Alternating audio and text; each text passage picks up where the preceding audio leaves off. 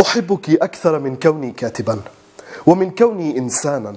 يمكنه أن يحمل ترسه ويعود إلى حرب طروادة فقط من أجل الحب. أحبك سوريا. أحمد برابرة من فلسطين. روسيا دمرت سوريا.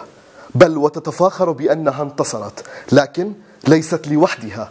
بل الدول العربية والمجتمع الدولي كامل ساعد أيضا على تدمير سوريا. كل لمصالحه الشخصية ماذا فعلت روسيا بسوريا؟ استهدفت المشافي والمدارس ودمرت البنية التحتية لسوريا وبسببها هجر الآلاف والشعب السوري الآن بلا ملجأ وبالمقابل تقول روسيا بأنها غير مسؤولة عن الدمار وعن إعادة الإعمار من المسؤول إذن؟